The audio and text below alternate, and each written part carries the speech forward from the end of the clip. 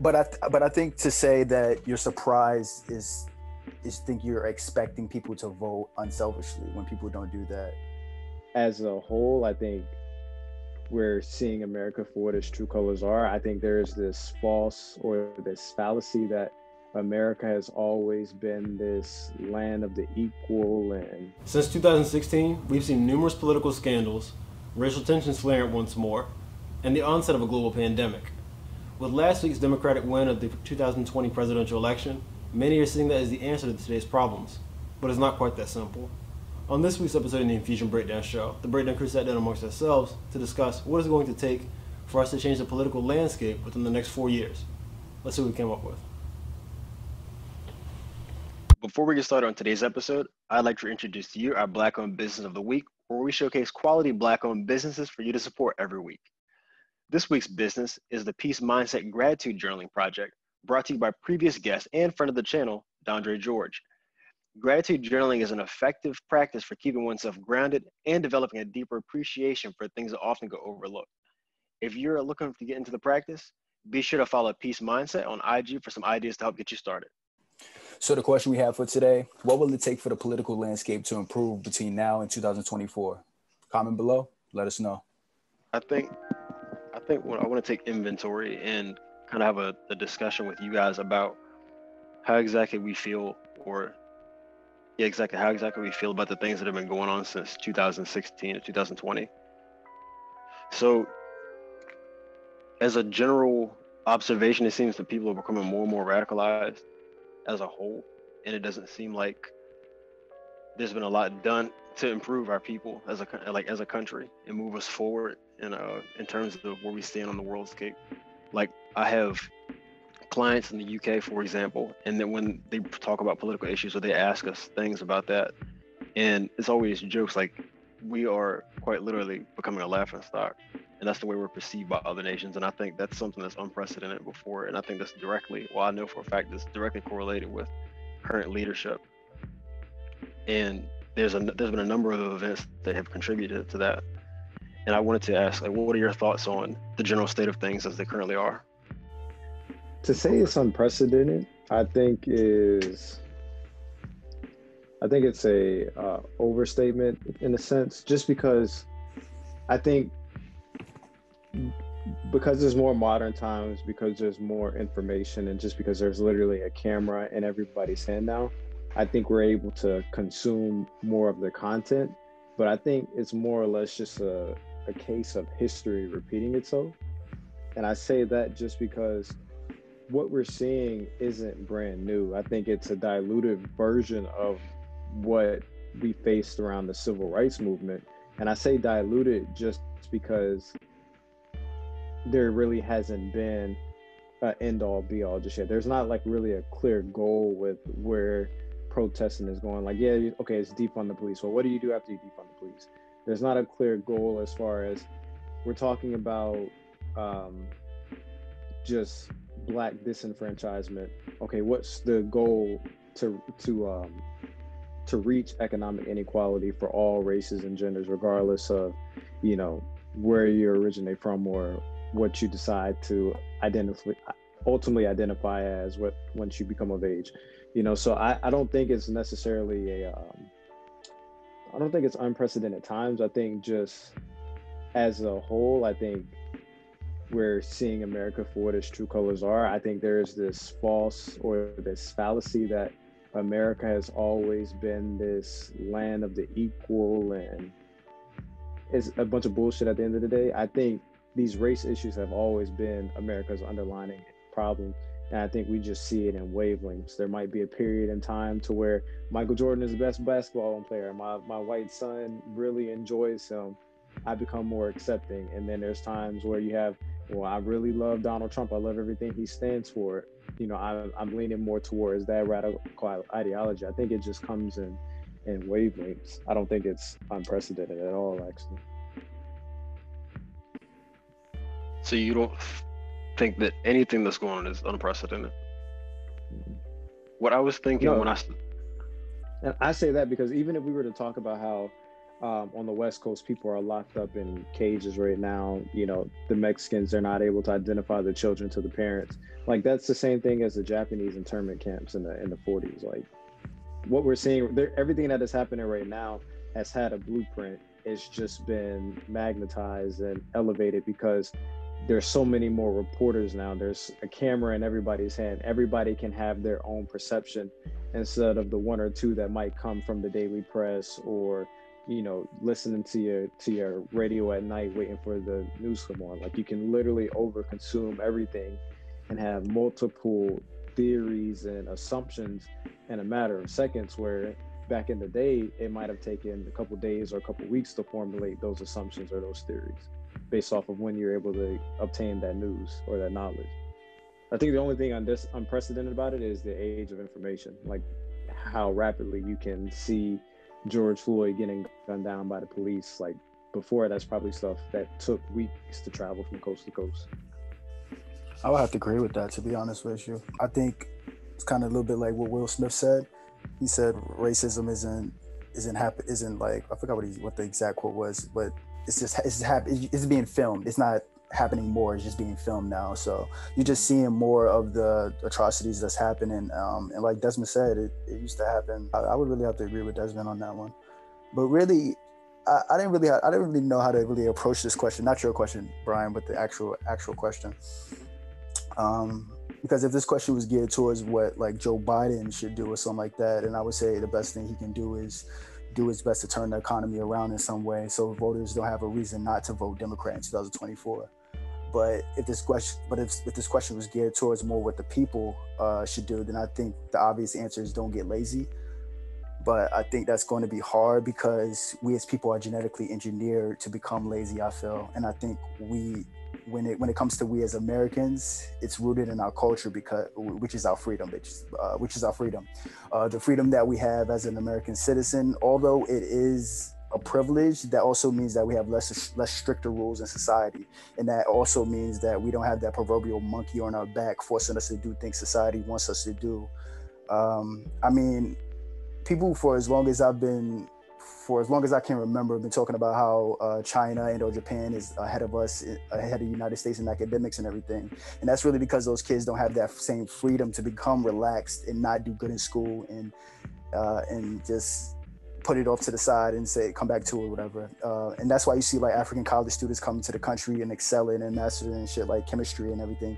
Yep. um, so so so yeah i say that and basically it's because it means more to them i feel and i say that to say this i think people respond better when shit goes to hell and, and what i mean by that is because look what it took for the amount of people to come out and vote this time around uh, it took President Trump to get people to come out and vote, and even get people in the uh, get people empowered uh, to go influence more people to vote. I feel, and I mean, the amount of celebrities that actively engage in, uh, in activities in order to get people to vote was phenomenal. I feel uh, this year anyway, from setting up polling places to getting people registered. Uh, I know Stacey Abrams did a lot in Georgia. You probably hear that a lot too if you turn on the news. Um, reason they're a blue state now. Um, but I must say I didn't hear about this in 2016 though. Like I, I heard, I, I, know, I remember LeBron coming out and endorsing Hillary and everything like that. But I remember him setting up polling places in Cleveland like he's doing in Los Angeles right now, or mm-hmm. even or even other celebrities uh, doing as much.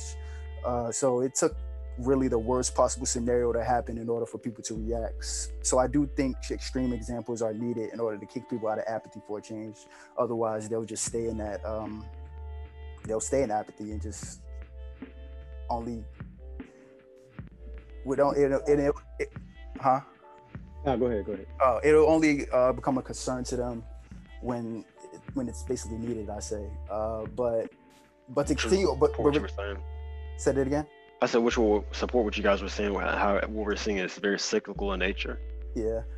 Yeah, but to continue really off of that, I would say the biggest thing, I guess, to go deeper into that, the biggest thing is stopping voter suppression and continue on get really just to continue to get people to vote because it's not widely talked about, but voter suppression is something that can really impact an election.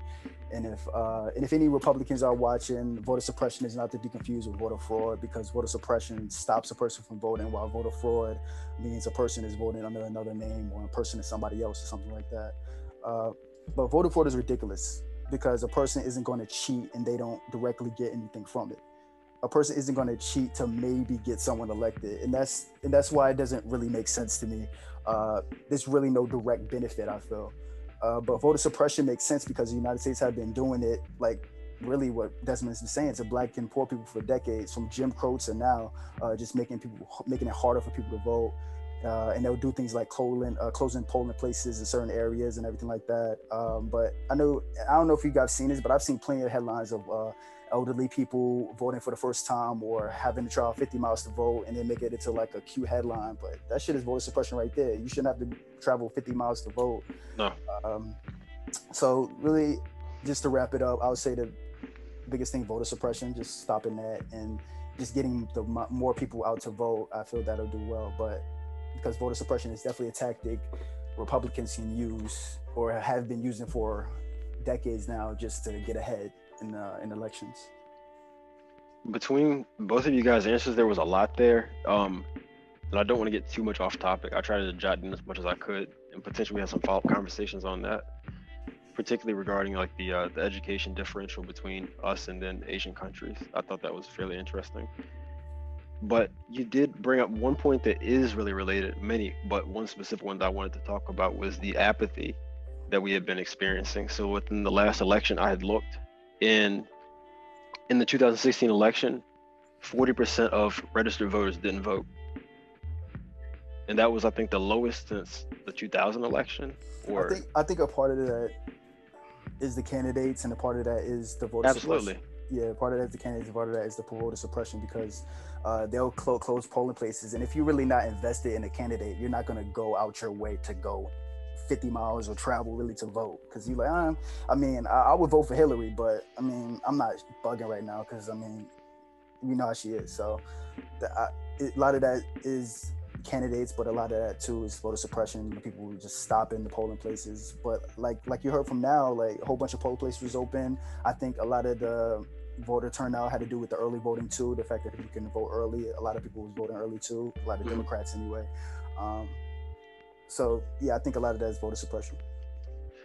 There was um another study that I had looked at, and it was saying that when more people vote, Democrats tend to win.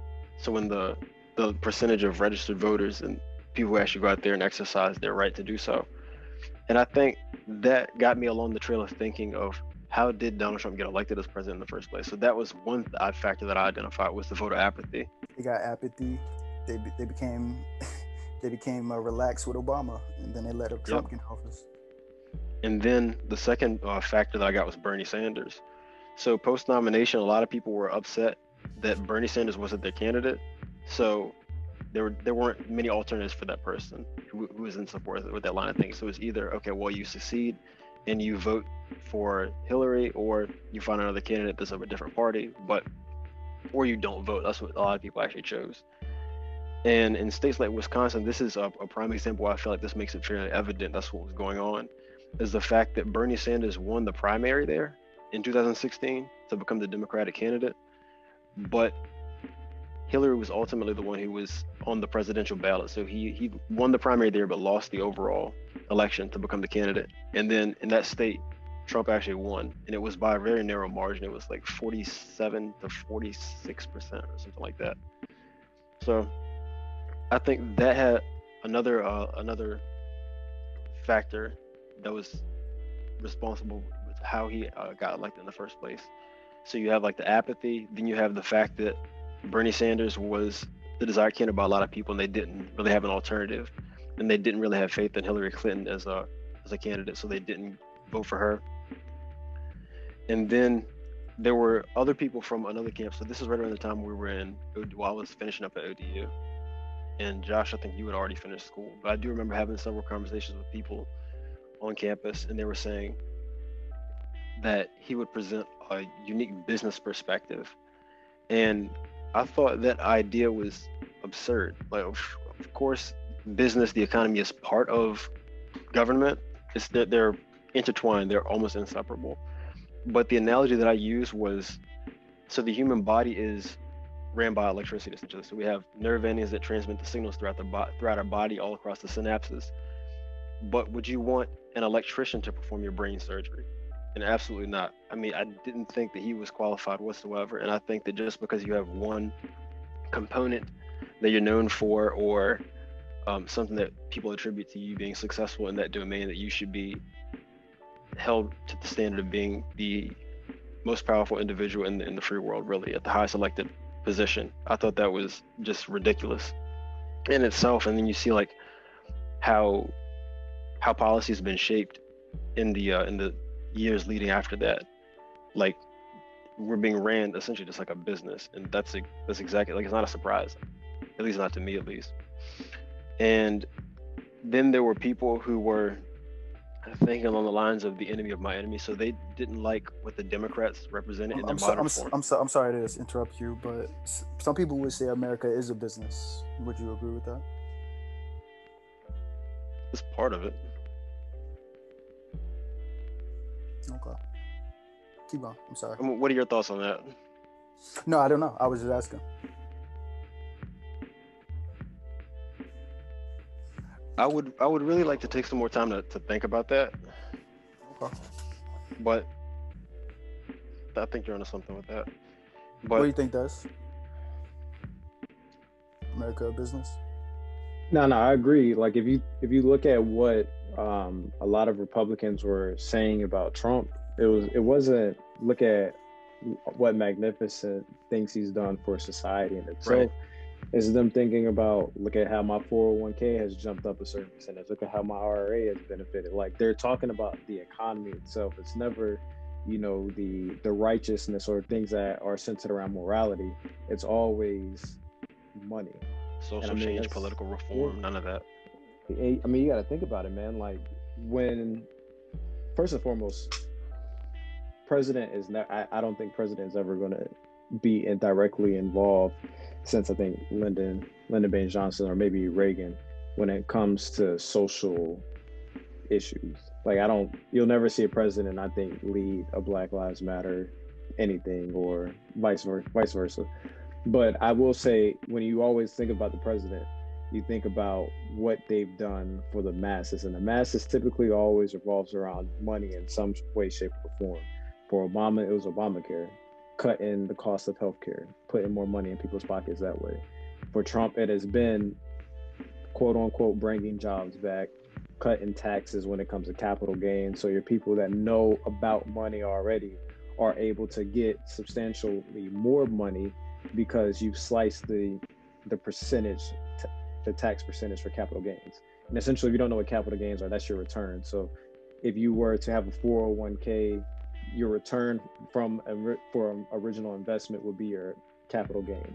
If you trade forex, it's whatever you make from your initial investment. That's what capital gains are. So if you have to think, if I have hundred dollars and I turn that hundred dollars into into 15, 1500 and capital gains tax is only 80%, then you're making hell of a lot more money than you're going in and clocking in 80 hours a week and getting taxed at, you know, 70% or, or, or, or 70, I'm sorry, not 80%, 20%. So you get 80% of your money. And then vice versa. If you go clock in, then you're getting taxed at like 70% or 30%. So you only get to keep 70% of your money. Things of things of that nature. And whereas Trump is directly affecting that. So people are looking like, well, look how much money I'm able to bring. It's, it's never look how look how euphoric we are. Look how everybody's just bonding together. It's well, you know what, we are in a little bit of chaos right now, but damn, that that extra five thousand or so I get to my 401k a year kind of kind of balances everything out.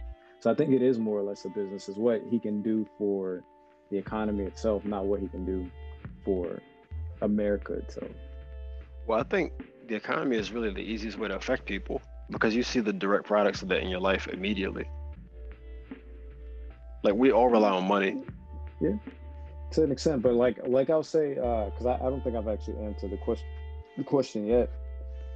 I would say to expect change within the first four years by 2024, or um, to have any substantial improvement, I think would be to have too high of an expectation, or it would be to have an expectation at all.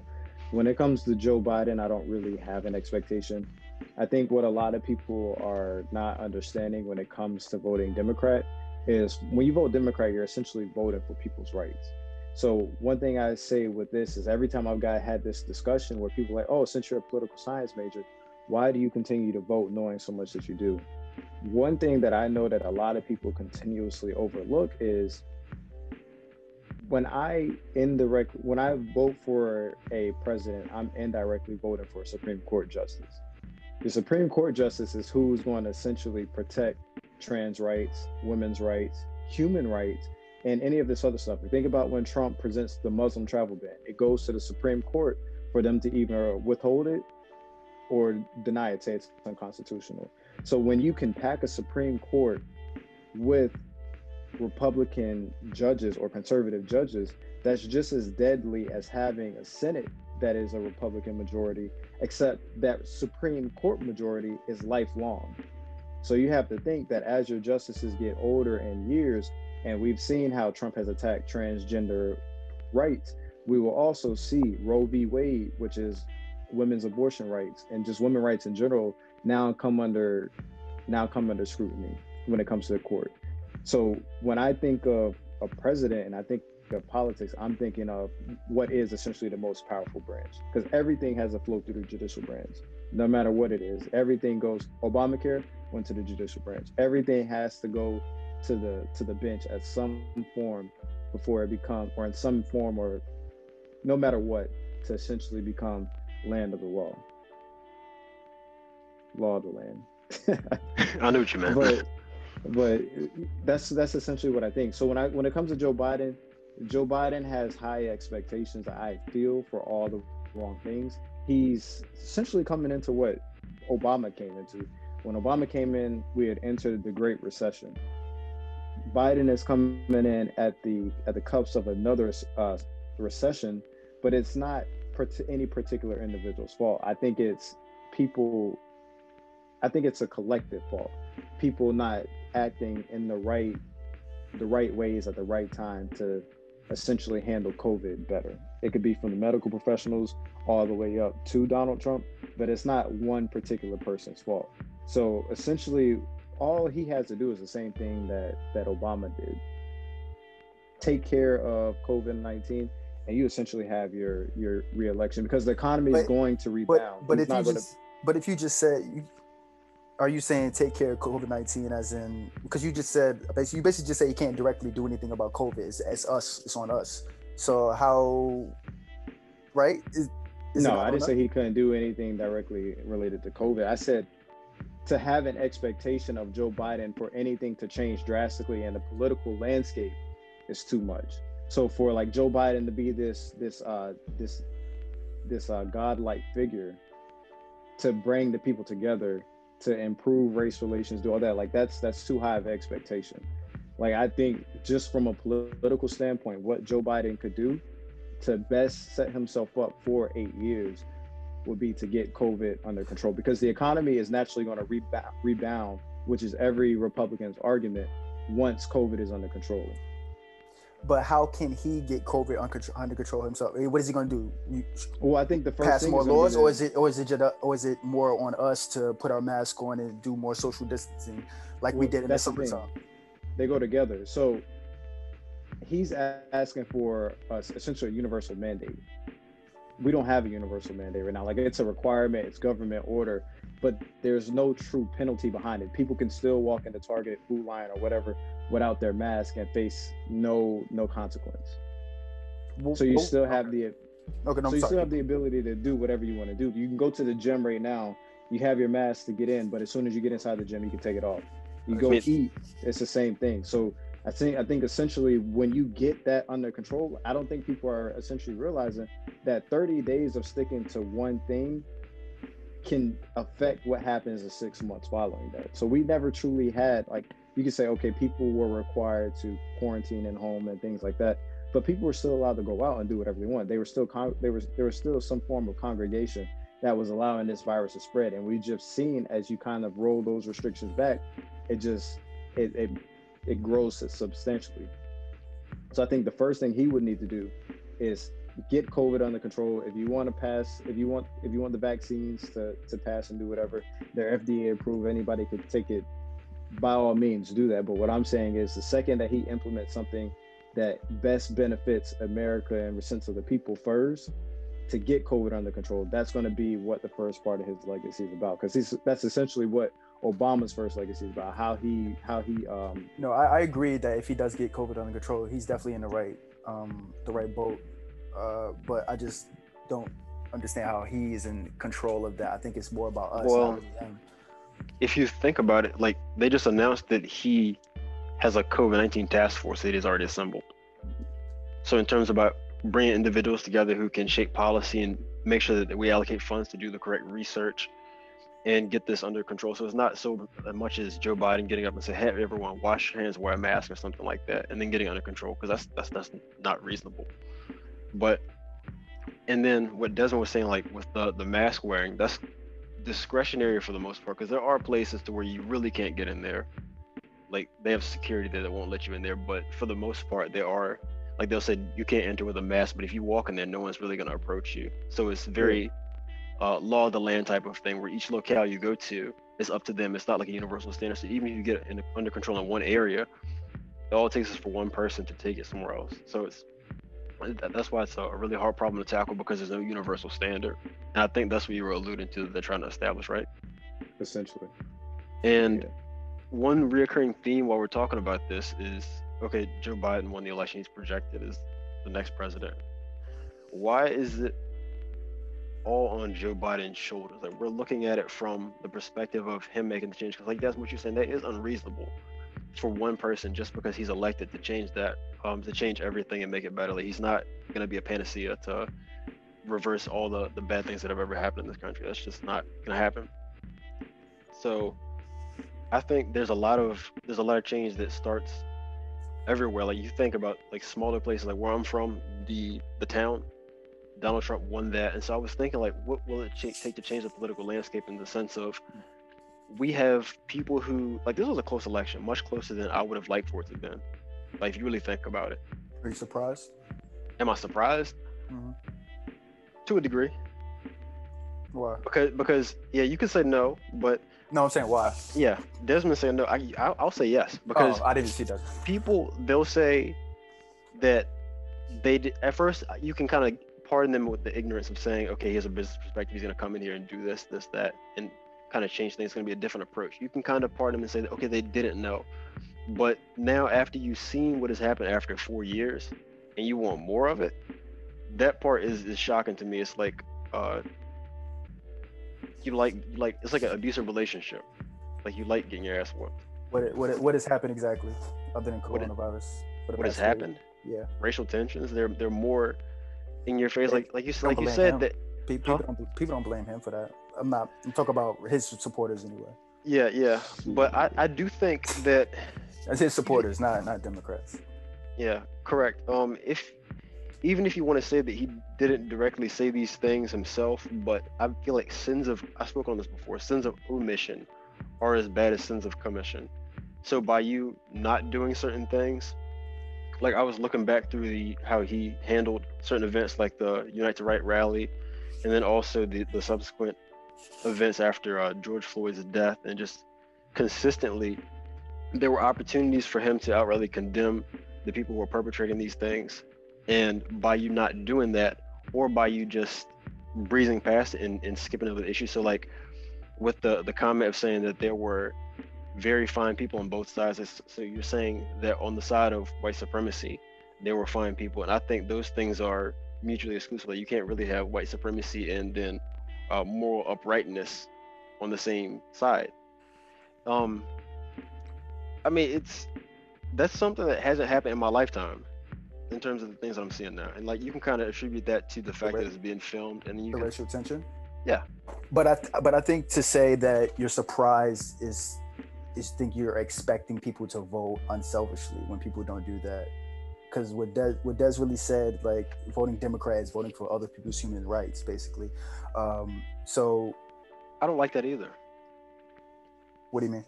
I don't like the fact that one party can be attributed to people's human rights. Shouldn't they be a concern for every party? And like to assume that by default, I think we're doing ourselves a disservice. Yeah, it should. No, be. that's not an assumption though. Maybe it maybe it should be, but that's not how things work. like I, I remember remember when I said that it's the to vote Democrat is essentially vote for human rights mm-hmm. because we've seen how Trump has implemented the travel ban. We've seen how the the Mexicans who come across the border illegally essentially lose contact with the direct relatives. You don't you're not able to match parents to to their to their children. Like things right. of that nature, like what you would deem as basic human rights are not the first thing to come to mind when it involves Republicans. Like Republicans exactly. are known as being um, for less government intervention when it comes to uh, social social um, social dilemmas. Mm-hmm. So that's kind of why you see racial tension, but you don't see any direct government involvement until it comes Trump calling the National Guard. That's my issue but that's just how their that's just how their philosophy is. Like they're for less government by any means necessary. So they're for less government when it comes to not just money and taxes, but it's the same way when it comes to social dilemma. Like you could argue, yeah, like putting a travel ban is government intervention, but it's government intervention on behalf of Republicans not wanting those people to be in the country to begin with. And I, I th- and I think a part of it is being moral costs more money. And the other thing the Republican Party is about, they're about their money. So they're not gonna they're gonna do as as much as possible to spend less as much less money as possible. So and that usually means throwing away, throwing your morals to the side in order to achieve certain goals. So I think that's part of it too. Also, I believe Josh, you asked why was I or was I surprised at the fact that this election was a lot closer than I would have liked for it to have been, or for most of us had liked to have been. And mm-hmm. I would another thing that contributes to that is the fact that we had such a voter turnout. Like it was it was a really publicized thing. You had, like you said, a lot of these celebrities going out and opening up places to get people registered, going out doing it themselves, and speaking on that. And so, like you said, that's something that wasn't present back in the 2016 election even. So you would think with more people that it would have been. I thought the numbers would have been a little bit different. I'm not saying it would have been a landslide or anything like that. I wasn't projecting that. I got you. no, I, I don't think so. I just think more people vote. More people. There's there's, there's still people out there who do, who didn't vote, who were undecided and didn't vote at all. Mm-hmm. Like didn't vote for Trump or Hillary, and then this time they vote. They ended up voting for um, Biden. I'm yeah. I'm, it was his man name. Yeah, they ended up voting, voting for Biden. So, it, I just I just feel that the more people that vote, yeah, both sides are going to go up. But I think what Desmond said that, oh no, what you said is um, more people vote, then more likely Democrat will win. But there's still people, the people that don't vote, there's still some Trump supporters who don't vote or like that. You know what I mean? Mm-hmm. Like it's not only Democrat that's affected. That's what I'm saying. Yeah, when it comes to demographics, it's not a one size fit all. That you can say that oh, all people from this group did this one thing. Yeah, so I'm not surprised that with more people, like it was close, like because people, even after the racial tension, like if you're a white person and you're looking at the racial tension at a uh, from a certain angle, you're like uh, that still doesn't matter to me. What Trump is talking about matters to me, so that's that's why they vote for him. They don't vote because, like what Desmond said again, what voted for Democrat, you vote, you're basically voting for human rights, and people vote selfishly. They don't vote unselfishly. I feel.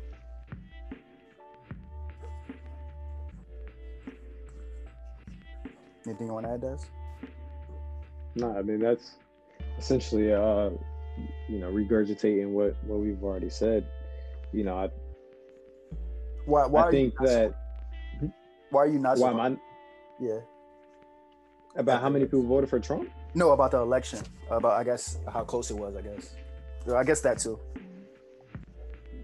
It's essentially what he said. Like our numbers are so high for COVID because we do the most testing out of any country. Like if you are you genuinely genuinely genuinely surprised that people who marched out in tiki torches and people that have been those closet racists aren't going to come out and continue to support their guy like the same way we were advocating for like those people consume the same media we do you see the athletes going for a vote just make sure you vote make sure you vote but they're indirectly saying make sure you vote for biden like you know these people these athletes that are coming out that are not vividly stating make America great again, like your Colby Covingtons, your Jorge Masvidal's, your Tito Ortiz's, like all your MMA fighters, or even some of your athletes whether it be baseball or or football or whatever whatever it may be.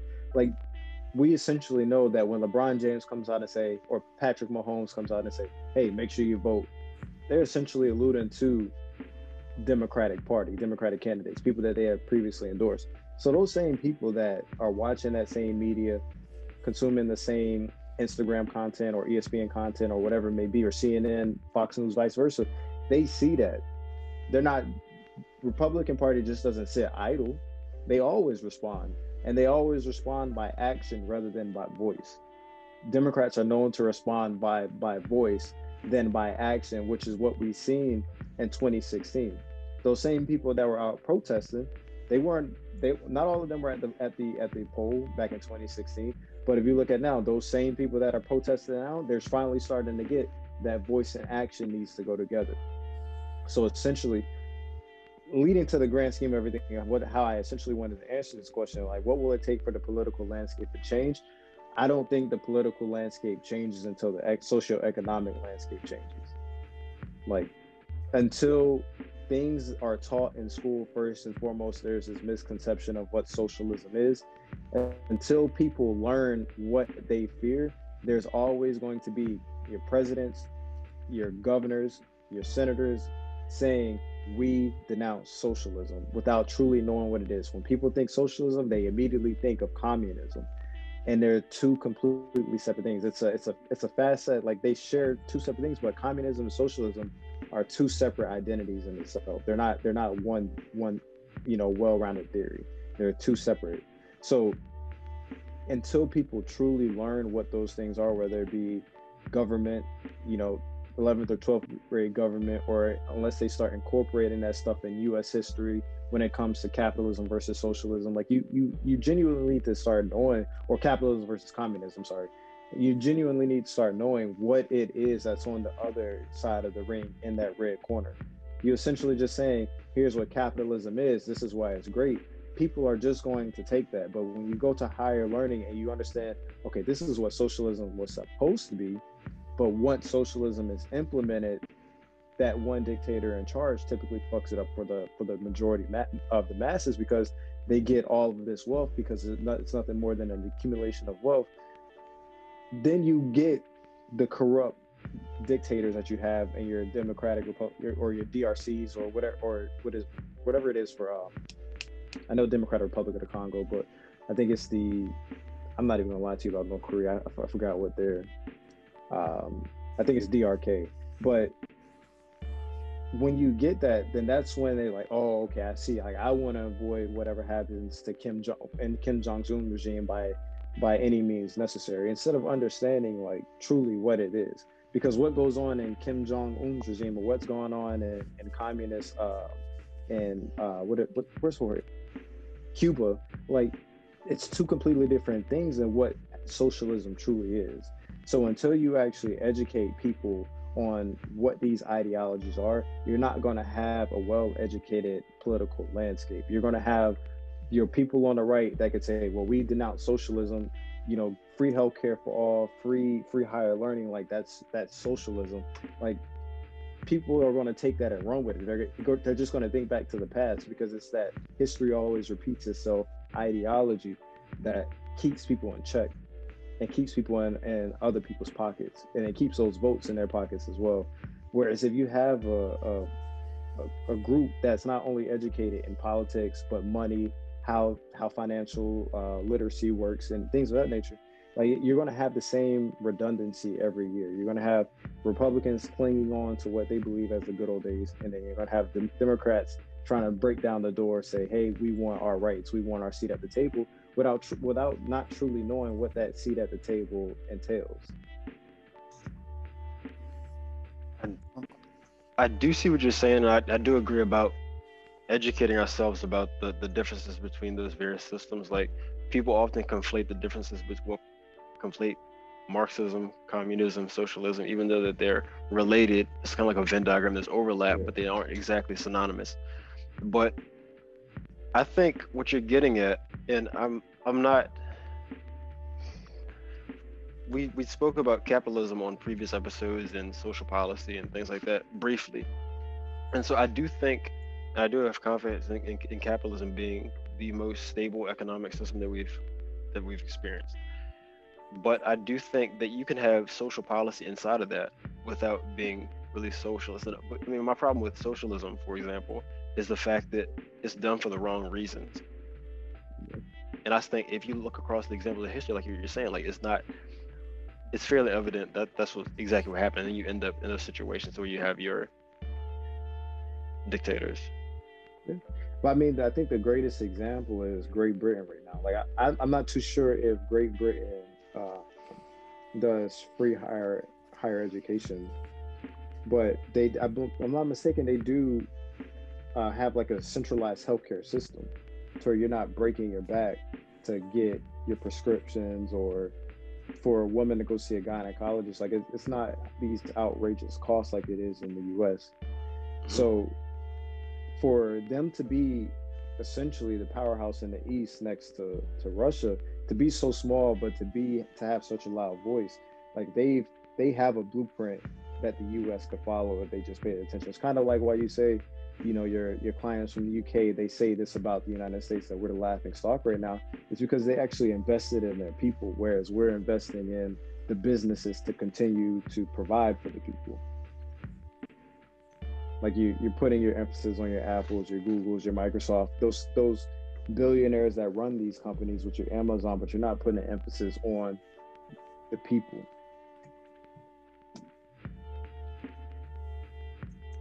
Yeah so you said that i just wanted to recap to make sure that we that i that i've taken everything in properly so you were saying that you don't essentially think that in the next four years that anything substantial is going to change. So what's what's stopping somebody someone else who is like Donald Trump, for example, running for office again and using the same rhetoric? Because what what he proved and what I was saying about this race being so close is that there is a market for it. People will eat that up, and it shows you like if you look at the numbers across the states, and then like uh, down to the specific counties and, and the uh, locales that voted for him.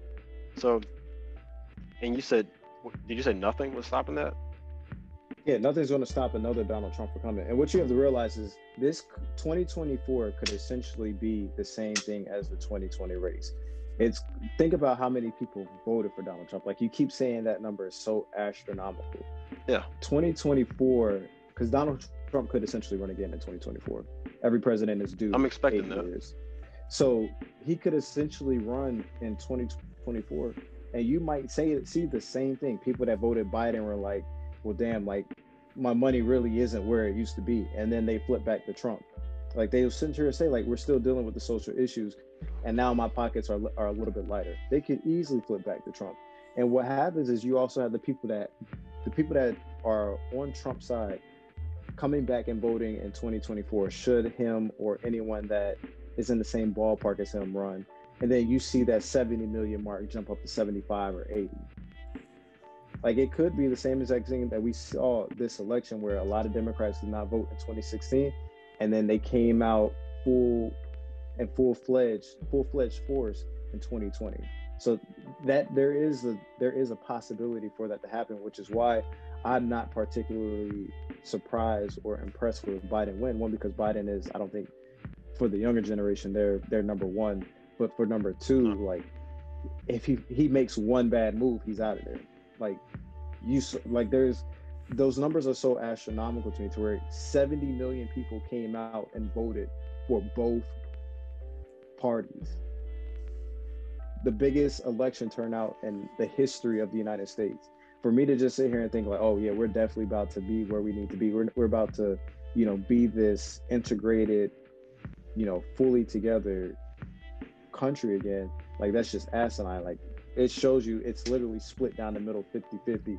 The only thing that might be saving Democrats is the Electoral College. The same way people claim it hurt them in 2016, like the Electoral College, without a doubt, saved Democrats this go around. Like if if if Stacey Abrams could not have turned Georgia blue, and if Pennsylvania, the Pennsylvania turned blue as well, then did not.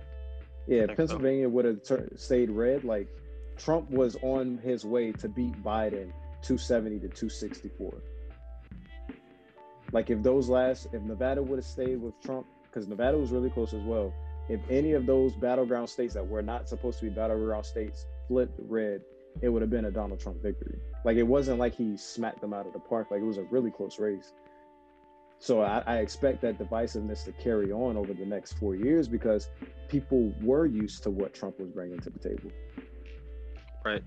And what I was saying about even if it's like, not him, like someone else could come come along better and be more eloquently spoken. They could be more manipulative and, and, smarter about how they handle their business or conduct themselves. Like they're not on Twitter broadcasting every single move that they're right. doing.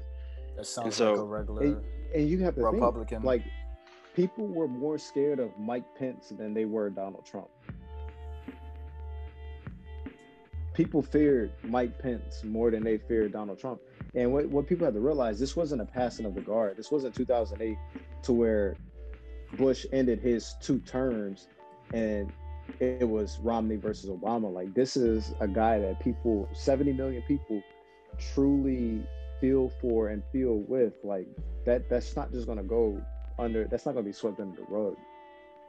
And I, am I'm, I'm not mistaken. I don't think I don't think Democrats control the uh, the Senate right now either. I think it's really close, I but so. I don't think they control it.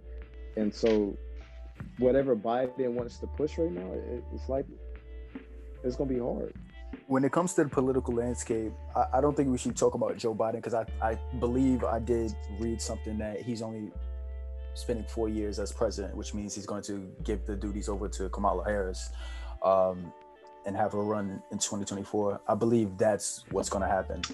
Kamala uh, Harris won't the first one either, though. Like, the thing is, he would be doing himself a disservice by doing that because I, I decided to say a good move. I was just like, yeah, yeah. Well, you're saying we shouldn't we shouldn't bring it up, and then you bring up Kamala Harris. I'm like, that's not a smart move either. Like, people they didn't want Kamala Harris just as much as they didn't want Joe Biden. Like, the the convent the committee or Democratic National Convention or committee, like they selected them people.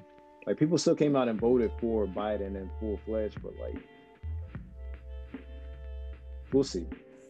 And, and to Brian's uh, question, like what would stop another Trump or even Trump himself? I think the biggest thing is the Republican Party. Like I think they have to decide: is this the direction we want to go to? Do we want to go to Trump? Because they're so back and forth with it, they don't even really know. So they have, they have to either go all in on Trump or go back to what they was already doing, which was the in the closet racism.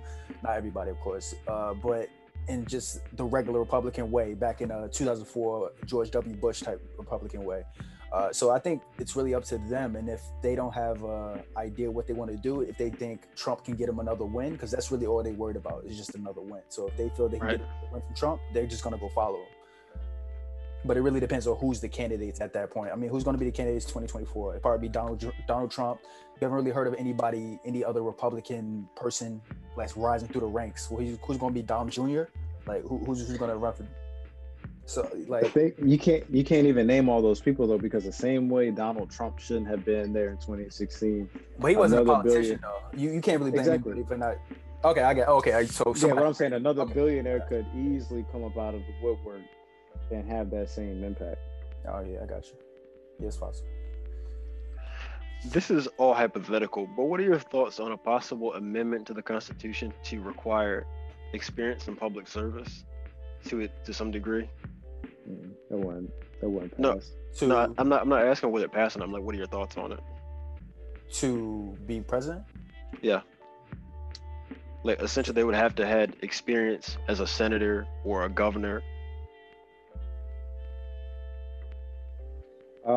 Um. I mean, but it's also experienced people. Like you can look at how they they ran a, a, a state and apply to the country. Like there's no guesswork involved in it. And I think I, I feel more confident in that. It's like with anything else, you if you have experience, it's taken into consideration. But to to your point, um, I know you're about to say something else about that, but afterwards, I want you to kind of ex- why do you say that that would not uh, fly or wouldn't pass? Because there's already so many limitations on what you can on to being becoming president anyway. Like you have to be. There are a lot of. I'll say it this way. There are a lot of um, mayors, senators that are not born in the United States that are doing far better than some of the born and bred residents that have ran that state. So for me to say like, oh well, you know, the president has to have like, you know, certain experience, like it's to fraternize it, it's to say, hey, we only want to choose from our cream of the crop, even though that cream of the crop might not be the best.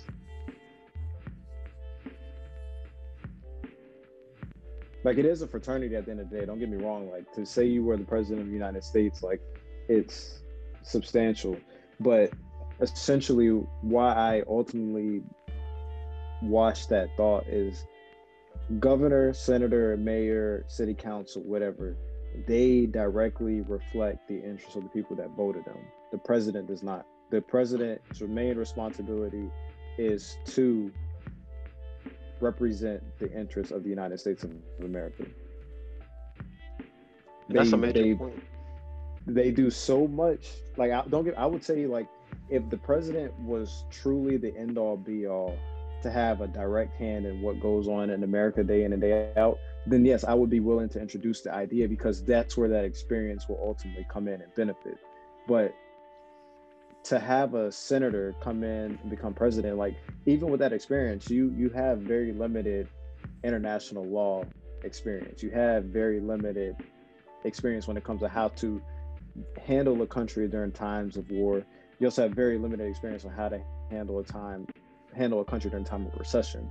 None of those prior positions, governor, senator, city council, or mayor, prepares you for that moment. I mean, nothing Because that- prepares you for responding to war. Exactly. Well, nothing prepares you for anything that the president has to directly respond to. That's what I'm saying. That's why I don't think it's necessarily a requirement. Like, yes, you get the experience with, you know, creating legislation, but the president doesn't even create that legislation. The president has a team creating that legislation for him, and it still has to go to Senate and at times still go to the Supreme Court. So that experience you're getting, you're never really applying it full hand because what you have your hands tied with is things that the governor would never have his hand ties with, or a senator, or a mayor, or, or a city council, vice versa. So that experience you have is more or less like the prerequis- prerequisites to start your to start your actual um, your major in college.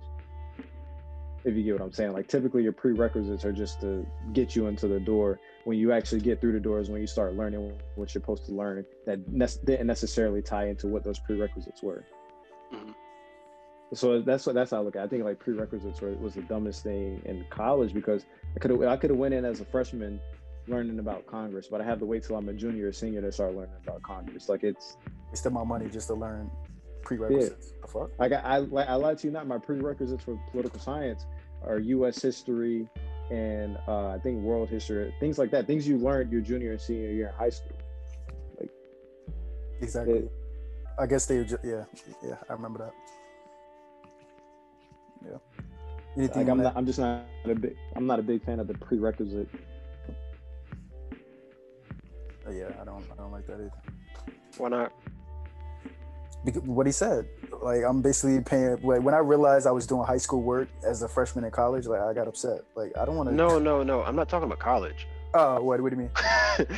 so about the the prerequisite for being elected as president. Yeah. Yeah.